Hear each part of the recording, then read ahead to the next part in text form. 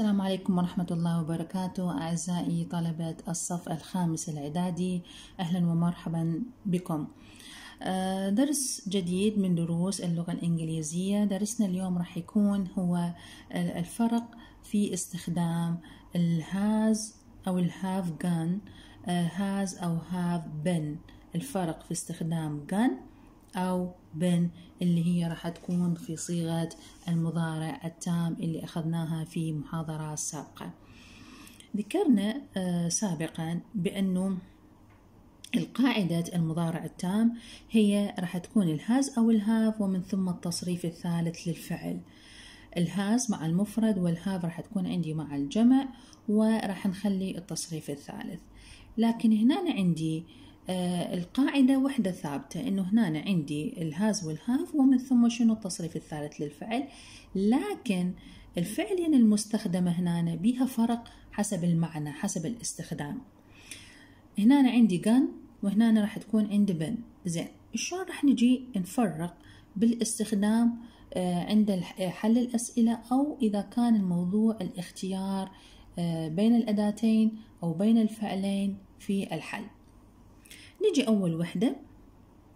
راح تكون عندي ال has أو ال have been has have been تستخدم هذه العبارة أو هذه ال been تستخدم عند الإشارة بأن الشخص ذهب إلى مكان وعاد منه. يعني راح إلى مكان معين ورجع. ما بقى هناك. فلذلك إيش راح نستخدم؟ راح نستخدم been لكن شنو حتى ما نخربط بيها؟ راح نكون عندي فد قواعد معينة أمشي عليها حتى أقدر أتعرف إنه على الطريقة الصحيحة هل أني أستخدم بن أم أستخدم جان. أول نقطة إذا كانت موجودة كلمة ذير في الجملة من تكون عندي موجودة كلمة ذير؟ راح نستخدم؟ راح نستخدم بن. إذا كانت not موجودة أو الاختصار موجودة في وسط الفراغ أيضا إيش راح نختار؟ راح نختار been إذا كانت الجملة استفهامية والفراغ موجود في بدايتها أيضا إيش راح نختار؟ راح نختار been إذا صارت عندي ثلاث حالات لاختيار ال has أو ال have been هي في حالة وجود كلمة the أو وجود كلمة not أو الاختصار مالتها أو كانت الجملة سؤال والفراغ موجود وين؟ الموجود في براء في بداية العفو في بداية الجملة الاستفهامية. هذه عند الاختيار إذا كان هنا عندي موضوع الاختيار بين الهاف وال بين الهاز والهاف بن أو الهاز والهاف جان دائما راح نختار؟ راح نختار been آه طبعا هنا آه ذكرنا إنه ال haven't been hasn't been haven't hasn't gone آه طبعا هنا ويا ال gone دائما ما يكون عندي نفي لكن فقط في حالة ال haven't been وال hasn't been في حالة إذا كانت موجودة النفي بيها مثل ما ذكرنا بالقاعدة. إحنا مباشرة إيش راح نختار؟ راح نختار البن. إذا كانت عندي الجن هاز جن أو هاف جن شنو معناتها؟ هنا هذه الأداة تشير إلى أن الشخص ذهب إلى مكان ولم يعد. بالنسبة للبن معناتها راح ورجع لكن الجن معناتها أنه راح ولم يعد.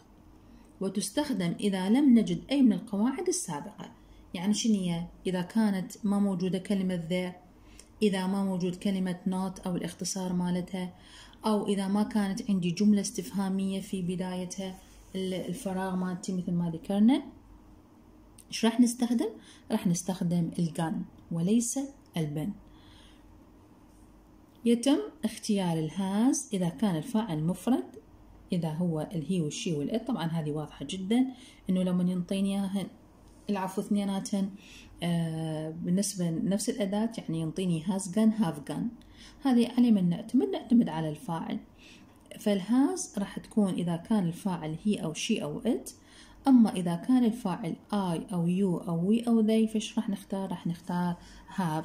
هذه في حالة إنه الاختيار بهالطريقة هذه يكون سهل جدا. لكن في أغلب الأحيان يكون الاختيار بين الجن والبن.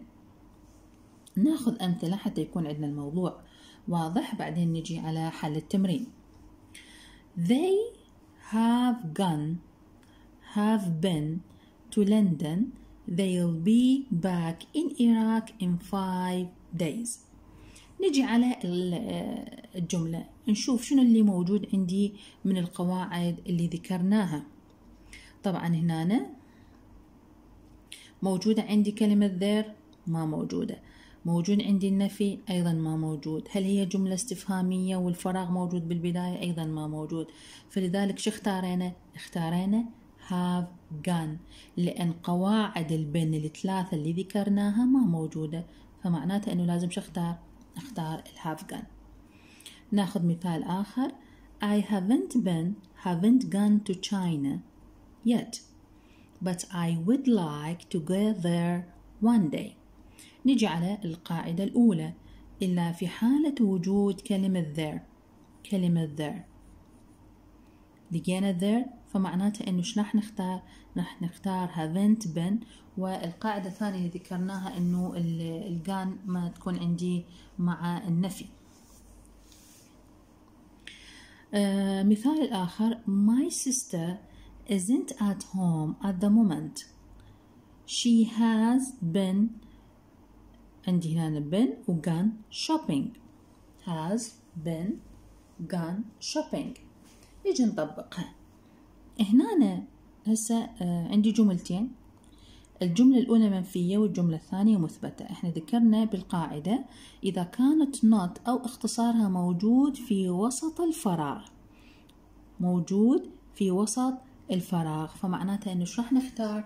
راح نختار البن لكن هنا ما موجودة عندي فلذلك شو اختارنا اختارنا الجن لأن القواعد الثلاثة اللي ذكرناها ما موجودة. هذا النفي ما نعتمد عليه لأنه موجود وين؟ موجود بالجملة الأولى وليس الجملة اللي موجود بها البن والجن.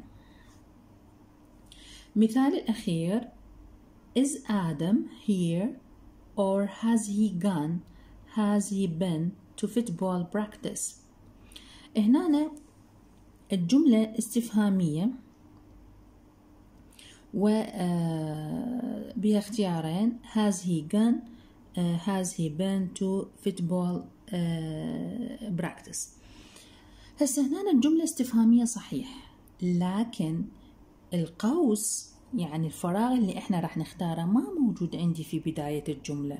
فلذلك أنا ما راح أختار البن شو أختار؟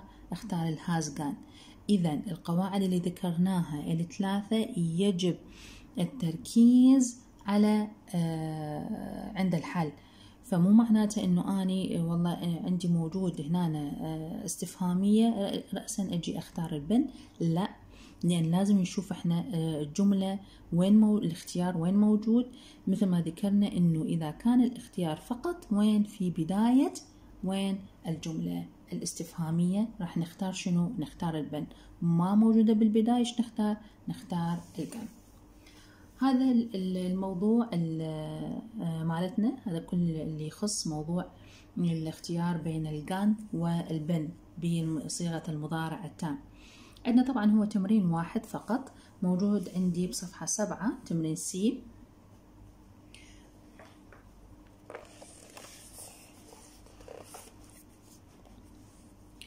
تمرين سي هنا complete the sentence with the present perfect symbol using bin organ. يقول لي هنا كمل لي الجمل اللي موجودة باستخدام المضارع التام باستخدام البن والكان نجي هنا النقطة الأولى. They to Dubai they'll be back in Iraq in five days. طبعا القواعد الثلاثة لا هي استفهامية ولا هي منفية وعندنا آه، غير موجودة there فإذا إيش راح نختار؟ راح نختار الهاف gun خلينا هاف ليش؟ لأن عندي الفاعل they ومن ثم خلينا الجن uh, was uh, Casablanca like I don't know. I haven't been there. هنا إيش موجود عندي؟ مثل ما موجود هنا بدنا نشوف؟ الاختصار مالت النوت فلذلك آه، إحدى قواعد الاختيار مالت البن هذه وحدة اثنين كلمة موجودة عندي كلمة there فلذلك راح نختار الفراغ الأول راح نخلي الهاف لأن عندي I ومن ثم الفراغ الثاني راح نخلي بين آه، حسب القواعد اللي ذكرناها The Albedri family isn't here at the moment. They on holiday.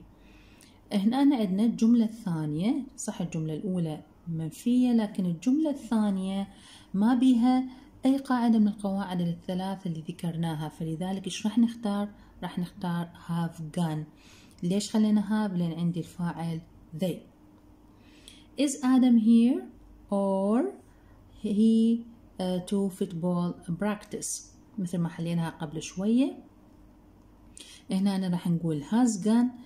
أيضا لأنه آه، ما عندي أي قاعدة من القواعد آه، تنطبق على هذه الجملة فمباشرة إيش نختار؟ نختار الجان واختارينا الهاز لأن عندي الفاعل مالتي مفرد I want to go to Scotland. I have been there twice.